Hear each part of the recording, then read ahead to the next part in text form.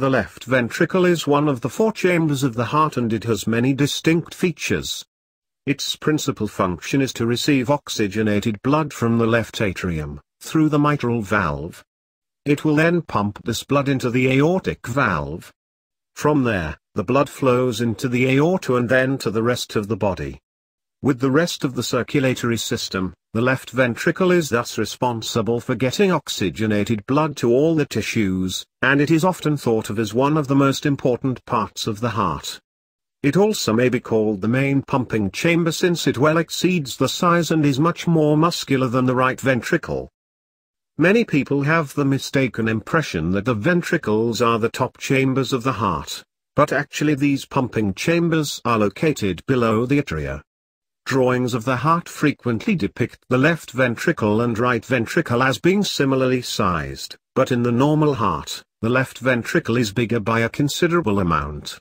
The borders within the heart of this chamber are the mitral valve, which is between the left atrium and ventricle, and the aortic valve, which arises from the top of the ventricle and separates it from the aorta. The ventricle is also separated from the right ventricle by a thick wall called the septum. As mentioned, the left ventricle is an extremely important part of the circulatory system. Its muscularity is required so that the heart can contract and relax allowing for blood to both enter it and leave it in an efficient way.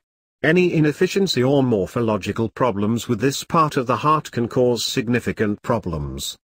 There are some congenital heart disorders that affect sizing of the left ventricular and the most potentially damaging is hypoplastic left ventricle.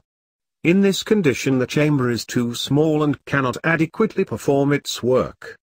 This condition is so severe that it is usually not reparable with surgery, though there are palliative surgeries that are increasingly successful, like the Fontan surgery. Many people who have this condition do require a heart transplant at some point. Other problems may be congenital or acquired.